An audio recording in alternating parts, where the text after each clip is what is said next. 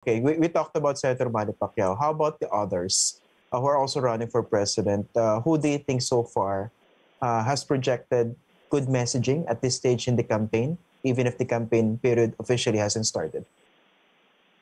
Uh, you know, I, I hate to say this, uh, and, and it, it saddens me to say this. Uh, and, you know, my, my, my slip is showing my political slip is showing, so to speak. But uh, I have to credit the team of uh, uh, former Senator Bongbong Marcos because you know they, they were lying in wait and they prepared and they laid the groundwork. At uh, ang binibenta nila ngayon, ang tawag ang tawag diyan is ano eh, uh, Camelot, the promise of Camelot. It it it uh, resonates with Filipinos. The golden era, the golden city, it worked for um, Vice President Jojo Binay ganito kami sa Makati, pwede namin gawing ganito ang buong Pilipinas. Uh, uh, it worked, you know, um, to a point, si Mayor Isko is doing the same. Sa Manila, ganito, ganito, ganito, we can do the things we did in Manila for the entire Philippines. Now, um, Senator Marcos is doing that uh, in the sense that he's saying, uh, hearken to the days when uh, the golden era of um, of martial law, when things were ever uh, flourishing and beautiful and fragrant. Uh, now, factual basis, I mean, the facts aside, whether or not this is true or not, uh, obviously another discussion for another day, but uh, that's their brand. They've stuck to it. They have uh, tenaciously uh, pushed that brand and that narrative. And uh, look at where he is in the surveys. So, among those who are running for president, his is the uh, clearest so far in terms of messaging? Or most effective? Well, uh, well ako, I, I just use that um, as an example kasi ano yan eh, um, yan yung uh, mabenta sa Pinoy. Okay. Yung uh, yung tinatawag nga nating uh, the, the Camelot, harkening back to the days of Camelot. But in mm-hmm. terms of messaging, I think all of them have very clear, strong messaging right now. I would definitely mention uh, Mayor Isko. Uh, how can you beat how can you beat that? Ikaw na Isko. I mean, how can you beat that? Brilliant, beautiful play on words. Uh, and what a narrative, what a story. Uh, when you think of Mayor Isko, you think of moments of truth. He, he has his own language. He speaks in a certain way that is immediately identifiable. He looks good. Dating artista, matipuno. Diba? Uh, leadership capabilities in Manila. Tapos, may heartful dahil nanggaling ako sa ano, nanggaling ako sa hirap. I, I, I made my way up from the Cariton. I mean, everybody knows the story uh, I thought that I thought his first ad was absolutely uh, a blockbuster. So magaling yon. Si VP Lenny is playing on the antithesis of what we are currently experiencing as Filipinos. Uh, 'Di ba? Ang ginagawa naman ni VP Lenny ngayon is uh, it needs a more delicate touch. Uh, uh, solutions rather than rhetoric. Yan yung ano ni Lenny, di ba? Um, uh, mapagmahal, uh, maalaga, nanay, etc. So I think all of them have um, very they've slotted into good messaging arcs. Uh, let's just see kung uh, sino yung uh, sino yung lilitaw, so to speak. Okay, Senator Serge. Uh, basically, same question. Of all those running for uh, the presidency now, whose message do you think uh, is likely to stick throughout the campaign? Perhaps at this stage, who has been more effective in terms of uh, getting that message across? Well, I think uh, Iskos is. And uh, uh, Alan said so. Uh, Isko said, I came from the poor. And he did come from the poor. He is even poorer than uh, Inday Sara, if Inday Sara runs, no? So, siya talagang pinakamahirap dito, he and Manny Pacquiao. But Isko did something with it for himself. He not only worked through college, he became uh, a movie actor, he became mayor, and as mayor, he accomplished many things. So Isko has the narrative to uh, really carry him through to the presidency. How about the other candidates? Let's say uh, Bongbong Marcos. Do you agree with uh, Alan's assessment of the, of uh, Marcos's messaging? Well, no. Uh, Bongbong is only uh, well is Hello,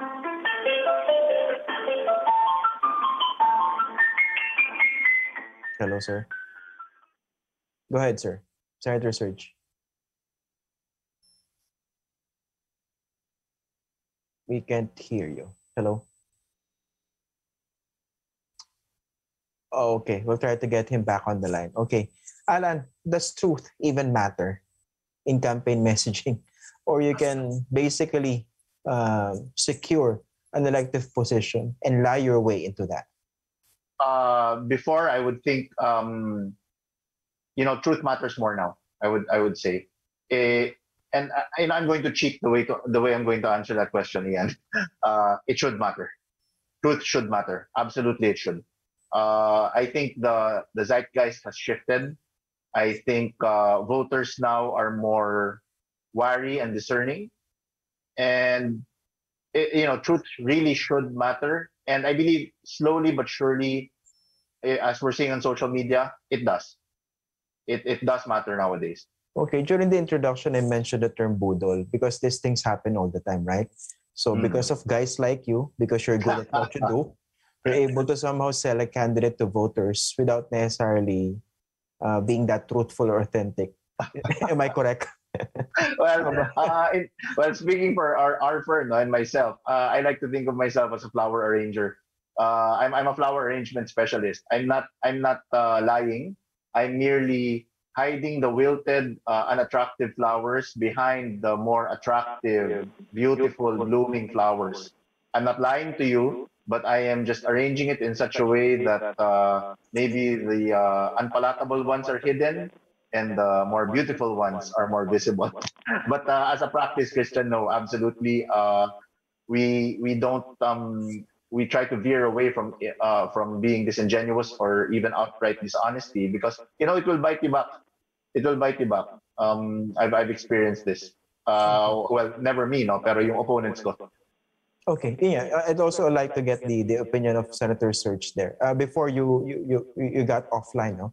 Were talking about the importance of truth uh, in campaign messaging. Uh, given your experience, Senator Serge, how difficult was it to basically sell a candidate without an authentic message or someone who is actually far away from the kind of image that he wants to project for himself or herself? Well, Senator uh, Sir. you know, are, are we talking about Bong Bong? No, no, no. In general muna, in general. Okay. In Bong Bong's case, right now, he's going on the presumption that people don't know what happened during his father's time. So he's saying it's a golden era. So let him say that first, because sooner or later, it's going to come out that that was the worst era that the Philippines ever underwent. So I don't think that anything is going to happen to to him with that uh, proposition that uh, it's a golden era. He'll have to find a new a new uh, handle or a new uh, message. But, but, but does, tr- does truth even matter uh, during an election campaign? Does the truth matter? Yeah, Yeah, or, or basically you can make a candidate You can win. Find out if it's uh, the truth. The truth matters if you can find out if it's the truth. But if you don't know what the truth is, how can it matter? How How about authenticity?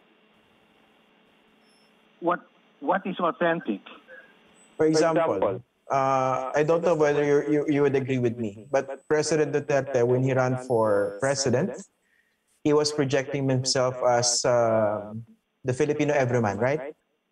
That he there were even pronouncements of his to the effect that he was not rich, but in reality he was rich, right? But somehow, really, I'm sorry, I, I cannot hear you again. can you hear me now? I, I hear you. Can you repeat that? Can you hear me now, sir? Now I can. Am I clear? Okay. Okay. Yeah. I'm talking about authenticity now. So because we're, we're in the subject of messaging. Earlier you mentioned that you, you look for the strengths of a candidate and try to highlight it. Highlight it. But what if, for instance, you gentlemen are very good at what you do? You can come up with messaging without necessarily reflective of the authentic character of the person that you're trying to sell to the voters. So my point is, does authenticity even matter? Uh, yes and no. Yes and no. Uh, yes, if uh, you can really come across, and no, if you don't come across. So I mean, it, it all depends. And uh, I, I cannot say unless you tell me what is what is authentic or what is the authentic thing you're trying to tell me, and I'll tell you whether it's really authentic or not. I was citing the example of uh, then presidential candidate uh, Rodrigo Duterte in 2016. We know that he's not poor. He's not poor. His family's uh, his family was and is rich, right? But he was able to project that image that somehow he's the champion of the poor. Uh, he's even very crass, etc., etc. So can you consider that as an example of not being that authentic, but so, somehow being effective in terms of messaging? Well, uh, that's okay because uh, really, uh, Duterte showed himself to be a, candidate of the poor, and uh, in a way, he was a candidate of the poor because he was from outside Manila, and everybody else was from Manila, and so they they, they, they thought it was perfect. Uh, this is the guy who who's from the provinces, he's from Mindanao, and uh, he's poor, and he's going to bring us in, uh, in, into the promised land. so yes, yeah, it, it, it worked. Remember, it, it isn't uh, the end all and be all of everything. Duterte only got 37% of the vote. Mm. Okay, but still, it was enough.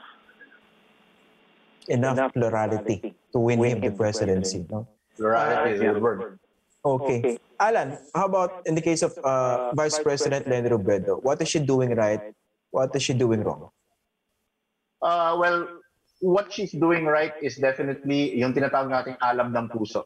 Uh, she has managed to uh, inflame the hearts of people who are uh, sick and tired of uh, the status quo. Now, whether or not there are that's a majority or not, it is a fact that right now she is uh, she has inspired people to actually yung tinatawag nilang matakot ka na pag uh, gumawa na ng kartolina yung mga tao. And uh, I'm sure Senator Serge knows knows this from his experience uh, in many many campaigns. Uh, yun yung kinatatakutan mo eh. Yung pag yung mga tao gumagawa na ng kartolina, uh, nagpepe, nag, nag, uh, nagsusulat na sa sa mga bond paper, uh, making makeshift signs somehow uh, Vice President Lenny has uh, inspired and instilled that um, that sort of uh, fervor. Now, what is she doing wrong?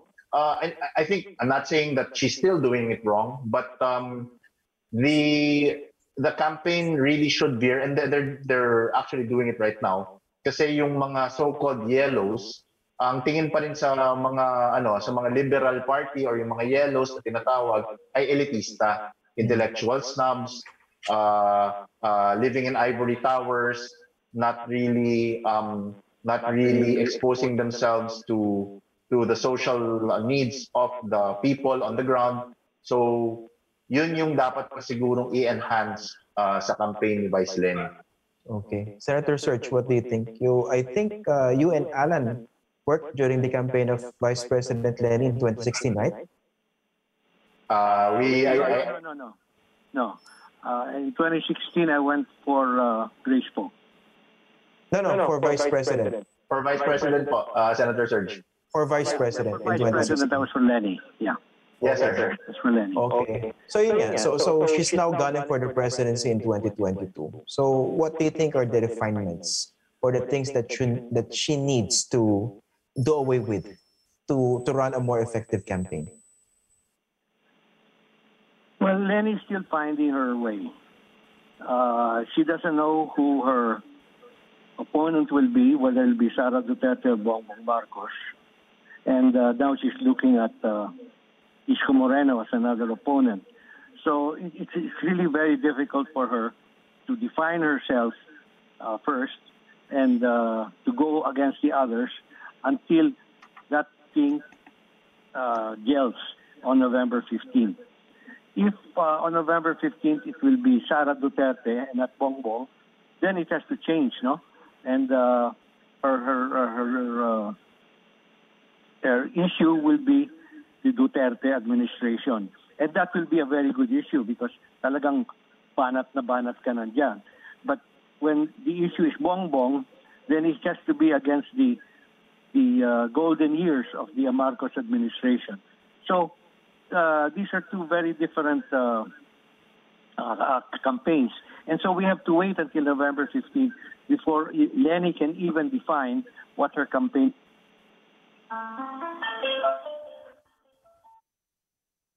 Mukhang naputol ulit si Senator Serge. naputol ulit si Senator Serge. No? Pero, pero in this case, we'll try to to fix this uh, line again. Alan, in this case, is that uh, even wise for for for for the group or the team of Vice President Robredo to focus on correcting, assailing, and setting the record straight when it comes to that Bongbong Marcos narrative? Or should she do what uh, Isko Moreno has been doing, basically try to project himself in the middle, get what's good from previous administrations, etc., etc., and focus on, he said, he keeps on saying, got issues. Alan? Uh, well, tatlo yung message, ano eh, tatlo yung message priorities mo as a candidate. Eh. You have to applaud, you have to attack, and you have to avert. So applaud your what you're doing and what your platforms are, which I think Vice President Leni is doing very well. Uh, but there is a component of attacking. Uh, hindi hindi ma mawawala yon. So in terms of percentages, definitely I wouldn't recommend her to be the one directly doing the attacking. But uh, alam naman natin, especially uh, those in my profession, uh, there are subgroups that will do the attacking for you and uh, try to erode whatever claims uh, and or gains that uh, her political opponents have made. So in the case of um, Senator Bongbong, that's uh, former Senator Bongbong, that's right, diba? So babakbakin mo narrative. In the case of the other opponent, iba naman yung bakbak mo. But uh, yeah, kasama sa messaging yun, uh, it's applaud, attack, and avert. Okay, Senator Serge, which one is more difficult? Earlier you said, no, malalaman pa naman natin yan sa November 15, whether Sara would run and or it would be Bongbong uh, who would remain in the race between the two, no? Uh, but given those two narratives, who do you think, from the perspective of Vice President Robredo, which one would be more difficult to deal More with? More difficult to run against? Yeah, to deal It with. would be more difficult to run against uh, Sara Why? I agree. because her Why, sir? father's the president. she has a built-in advantage. And- Equity of the incumbent, so to speak. Okay. Yes. So uh, there, there's an advantage there, and then the money, the money. Oh my God, uh, that's going to be coming out of their ears. So Doesn't- the, it is Sara. Sara's going to be a very formidable candidate. Compared to Bongbong Marcos for president. Oh yeah, oh yeah, oh yeah. But doesn't Bongbong Marcos also have uh, huge resources to to begin with, Senator Serge? Uh, not the resources of uh, uh, Duterte. Du- Duterte has about 100 billion at his uh, command now. Okay. The advantage of the incumbent. no? Let's also talk Yes. about the other presidential candidates. So we have two more. Okay, three. Sama na natin si Bato de la Rosa instead is, uh, in case he's not substituted. Pero, sige, wala pa tayo natidig sa plataforma niya eh. Let's focus on ano, Senator Ping Lacson. Okay. Okay. Let's talk about Senator Ping Lacson. Uh, uh, Alan, okay. So basically, in terms of messaging, in terms of packaging, this is a second uh, attempt at the presidency. No? May mga nagsasabi na perhaps this his peak was in 2004, di ba? Pero, pero how, how would you assess his messaging, his campaign at this stage? Alan first. Uh, personally, I think he's, it's absolutely on brand.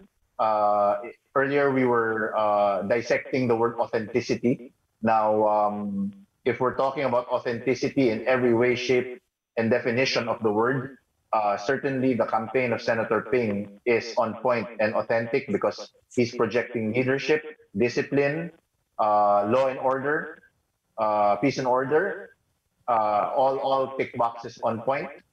So ako pasok na pasok, authentic yung kampanya niya. Siguro ano lang, uh, baka some people are saying that uh, he is past his political prime. It remains to be seen. Okay. Senator Search, what do you think of uh, Senator Panfilo Lacson's uh, run or campaign so far? I don't think of it because I don't think he's going to be a, a serious candidate. But uh, in, in, in any case, uh, he seems to be saying what he's saying, doing what he's doing, uh, but he's not picking up steam. So I don't know what else he can do. How about uh, Ka Leody de Guzman? Um, basically, labor leader. Leody de Guzman. Labor Uh, I don't know him. I, am Okay. really sorry. I don't know him. Alan, let's talk about the, this other candidacy uh, by Uh, yeah, Calio yeah. Guzman. Alam mo You know si him, right? Ano yan, ah? Siyempre, ano yan, uh, he has, uh, I, I mean, lifelong, uh, yung tinatawag natin aktivista, di ba? He has a working class, labor leader. Uh, but the reality is, it's really man, message, machinery, and money. Uh, all four have to go in consonance. Even if you have the man and the message, but if your machinery and your money are lacking, uh, unfortunately, and uh, we have a a, a, a political uh, heavyweight, political giant uh, uh, among us who doesn't even know him. So I think that's telling. Um, unfortunately, kailangan mo talaga ng makinarya at, uh, at pera para tumakbo bilang pangulo. Okay. Senator Serge, speaking of surveys, how exactly does a candidate make full use of surveys to be able to tell him what's right and what's wrong in a campaign? In your case, how do you do it? How how does a candidate what? Make full use of surveys. How does a candidate? you make full use of surveys. Uh, it, it all depends what the survey is about, no? Um, but yeah, you you you you got to make uh, full use of whatever is in there and whatever is proper. Um sometimes you ask questions that are mm, not not really important, so you neglect that. Uh, in a survey, the most important thing is is uh, not not really who's winning, no? Al- al- Although that helps, but that only tells you who's winning as of today, or as of the date that the survey was taken. See, so uh, that's that. Then there, there there's so many other things in the survey that uh, you you you you have to ask me specifically what in the survey was in there, because uh, there are many many things we put in the survey. Okay. Uh, lastly, same question Alan. So h- how should, how can candidates make full use of uh, surveys? Uh, I think uh, Senator Serge is talking about something more specific. No? Like just Right, right. focusing on who's leading. Okay, go ahead. Well, kami kasi, uh, ako personally, I, I weaponize surveys. Uh, I'm I'm uh, I'm an obsessive survey user. I look at it in terms of locus and focus. Where are you strong? Why are you strong there? A survey can tell you that. Why are you not strong? A survey can tell you that also. then we have ATSP, awareness, trust, satisfaction, and preference. Uh, why don't people trust you? Do people trust you at all? You can tweak your messaging also based on a survey. But ako mahina sa kababaihan?